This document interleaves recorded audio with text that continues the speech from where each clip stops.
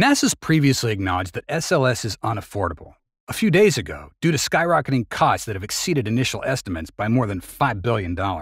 It seems like NASA's SLS has never created peace of mind for the American people. On the contrary, SpaceX and Elon do this more firmly and reliably. Things seem to be getting worse for NASA, as they just announced nearly 40 problems they're having with the SLS rocket. This sounds silly, but it's true. So, what exactly are those problems? Will NASA be able to solve them all? And how long is it going to take? By the way, how can SpaceX assist NASA?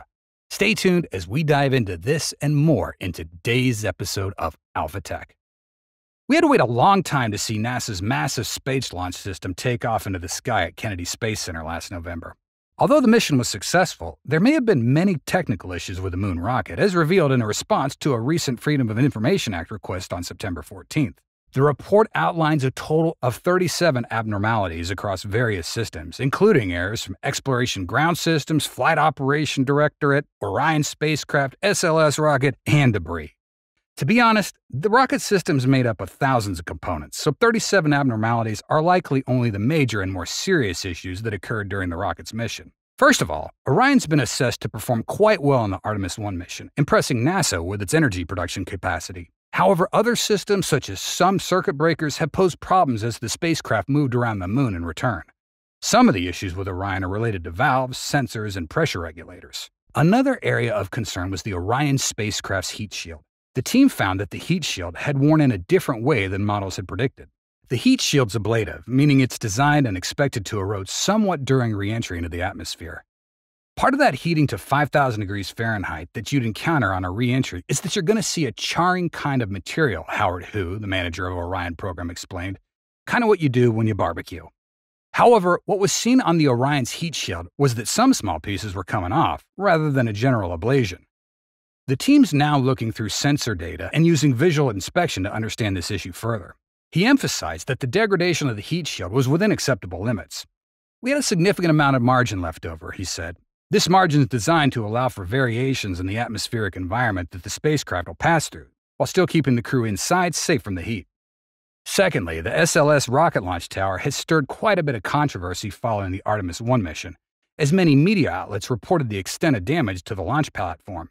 After the flight, NASA engineers and technicians had to climb hundreds of steps up the tower to assess the damage and make repairs following an elevator malfunction caused by the launch. During the launch of Artemis 1, some damage to this structure was caused by the tremendous 3,000 degree Fahrenheit heat from the SLS's boosters. The pressure from firing the engines blew the doors off two of the elevators within the mobile launcher. There are a few things that did receive more damage than expected, including some of the pneumatic lines. After launch, the pad lost gaseous nitrogen supply, which delayed the flow of the water that would have rinsed off some of the old solid rocket booster residue early. Because of that, some of the pneumatic lines got corroded. There was additional damage to the blast plates around the flame hole, which were damaged by heat. Moving on to the rocket, the star of the show, NASA reported seven anomalies. These included loss of communications with a sensor system that reports propellant temperatures, unexpected debris on a plug that prevents containments from entering an engine's combustion chamber from under the rocket, and vibrations throughout the rocket in several components, such as those between the tanks and the flight termination system that's responsible for destroying it in flight if the vehicle threatens life or safety on Earth. Does this mean a bucket of water has been poured on Artemis's next mission? Indeed, there are numerous issues plaguing NASA's moon rocket system, and they've only recently made a clear announcement about it. When the rocket launches, it's only performing an unmanned mission. So the question arises when the next SLS mission includes a crew, does it have the capability to ensure their safety? This is perhaps a challenging question to answer, as we still have no info on the repairs and fixes for the tech issues with both the SLS rocket and the Orion spacecraft. Many believe that these technical issues aren't necessarily a reflection of NASA's engineers' competence, but rather a result of the outdated technology of the SLS rocket, which harks all the way back to the 70s. Much of SLS is a holdover from the space shuttle. NASA had 16 leftover shuttle main engines and 14 foot long cones that were clustered in arrays on the bottom end of the shuttle orbiters. Those will be repurposed to power SLS. But while the shuttle orbiter engines and external tanks were designed to be reusable, SLS and its engines were not. The first Artemis flight used old shuttle engines. The next planned launches will use others. On the other hand, not only does it operate with an old program, but the moon rocket also has the problem of sky high costs. The financial constraint is also one of the reasons behind the delays and might indirectly contribute to the technical issues of the SLS as they wait for funding solutions for the high expenses. NASA argues that it's using the most tested rocket engines in history and that recycling them for the moon saves money, but not that much money, it turns out. In early 2022, NASA's Inspector General told Congress that the first three flights of the SLS would be 4.1 billion apiece, a level he called unsustainable. NASA and Boeing later said that the price tag would be lower, and outside analysts have said each launch would cost between 876 million and 2 billion, depending on how you break down overhead costs. They've designed a rocket that is basically unsustainable because it's a complete throwaway. The only bit that comes back is Orion, says Clive Neal, a lunar geologist at Notre Dame and an outspoken critic of NASA's moon plans. I get incredibly frustrated.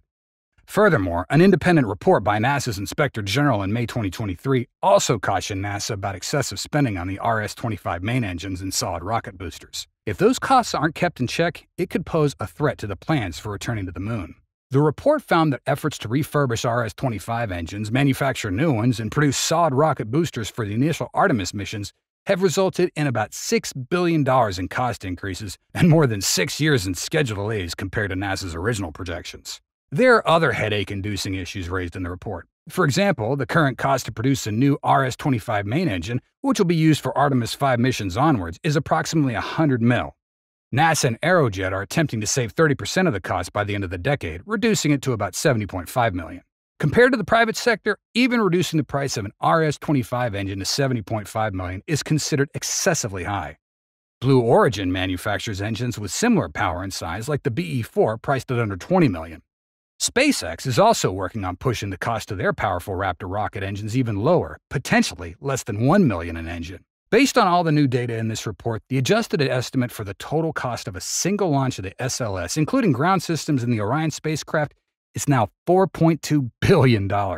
In general, with its expensive cost and unproven technical reliability, SLS continues to raise doubts among many about its ability to fulfill its missions. However, a brighter spot in this story is the potential for reusable heavy lift rockets like SpaceX's Starship, which is being built to include a configuration to carry astronauts across the moon. Lori Garver, a former NASA deputy admin, expressed surprise that NASA, under President Joe Biden, chose a version of Starship to transport Artemis astronauts to the lunar surface, stating, It's an acknowledgement that Starship's going to work, and if Starship's going to work, then you don't need SLS and Orion. That's all for today's episode. We hope you enjoyed it and learned something new. Please let us know what you think in the comment section below. Your feedback's very important to us and helps us make better videos for you. Thanks so much for watching and see you next time.